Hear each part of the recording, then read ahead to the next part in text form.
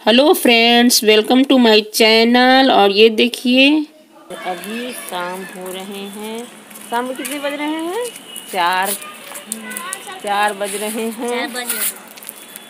और अभी मैं छत पर थोड़ा टहलने आई हूँ। और ये देखिए ये लड़कियाँ लोग।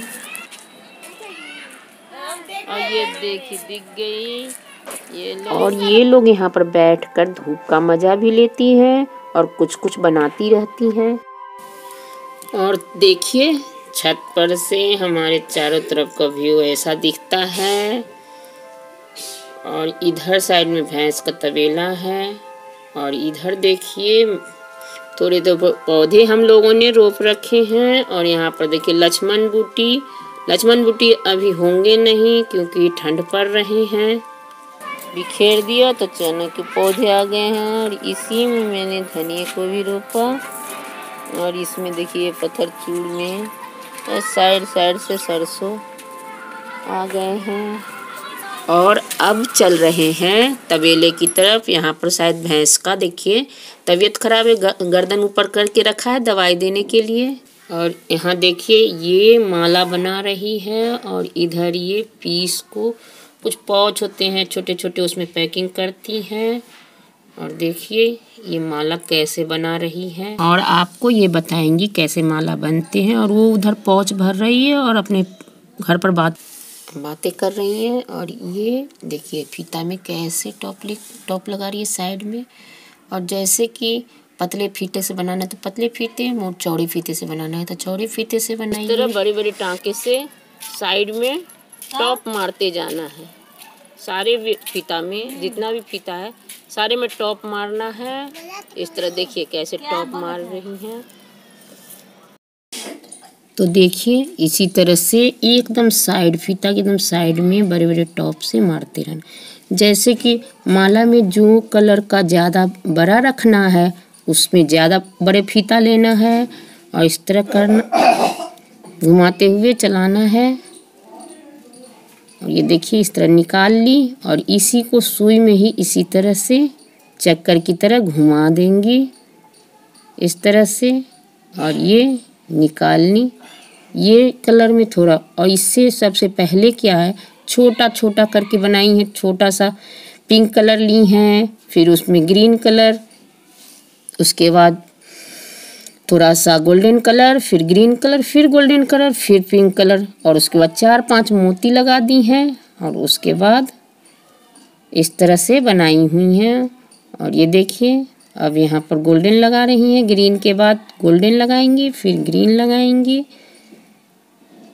और देखिए, और इस तरह से बनेगा शुरू में। देखिए पिंक ग्रीन फिर गोल्डन फिर पिंक और पाँच छह मोती। उसके बाद बड़े से येलो में लगाई हैं, फिर ग्रीन, फिर पिंक, और इस तरह दो दो बना लेंगे इसी तरह। अब सबसे ऊपर में बड़े फीते लेंगे, जिस भी कलर के हैं, और उसके बाद उसमें इस तरह से फीते भी छोड़ देंगे और टाँका मार देंगे, और इस मोती से उस मोती को जोड़ देंगे। इस तरह बन गए माला। अब इसे आप जयमाला की तरह यूज़ कीजिए। और ये देखिए, मैं अब छत पर से आ गई हूँ और अभी बच्चे आएँगे पढ़ाई करने के लिए भी और मैं जा रही हूँ थोड़ा किचन में नाश्ता बना लूँ। तो नाश्ते में मैं बनाऊँगी पास्ता और ये मैंने देखिए पास्ते को उबाल लिया है और इसे चलनी में रख दिया पानी निकलने के लिए। और यहाँ देखिए, बच्चे पढ़ने के लिए भी आ गए हैं और बच्चे पढ़ाई भी कर रहे हैं। और मैं इन्हें बता भी रही हूँ। इनकी मम्मी का जिद है कि मेरे ही पास पढ़ें। मेरे पास समय नहीं रहता है मैं बोलती हूँ। दो मिनट के अंदर लिख के दिखा।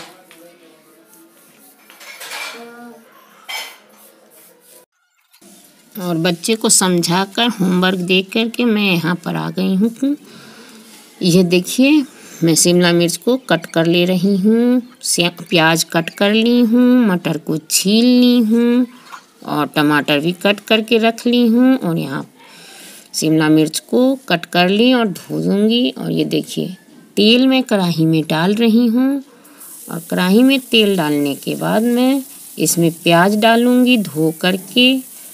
और प्याज डालने के बाद उसे थोड़ी देर चलाऊँगी। उसके बाद हल्का सॉफ्ट होने पर मैं सारी सब्ज़ी डाल देती हूँ। इसमें शिमला मिर्च डालूँगी। शिमला मिर्च को डाल देने के बाद मैं ये देखिए, शिमला मिर्च डल गए और इसी में मैं मटर धो करके, मटर को भी धो करके मैं इसी में डाल दूँगी। मटर डालने के बाद हल्का सॉफ्ट होने दूँगी, हल्का सा, हल्का होने, थोड़ा सा फ्राई करूँगी और इसके बाद इसमें मैं देखिए, टमाटर भी ऐड कर दूँगी। टमाटर को भी मैं धो करके रखी हुई थी, और इसे भी मैं ऐड कर दी हूँ। और टमाटर ऐड करने के बाद इसे थोड़ी देर चला करके इसमें नमक मिला दूँगी। अपने स्वाद के अनुसार पास्ता में ज़्यादा नमक नहीं पड़ता, ज़्यादा नमक पड़ने में पास्ता ज़्यादा ही नमकीन लगेगा। और उसके बाद इसमें मिर्च डाल देती हूँ और हल्दी डाल देती हूँ।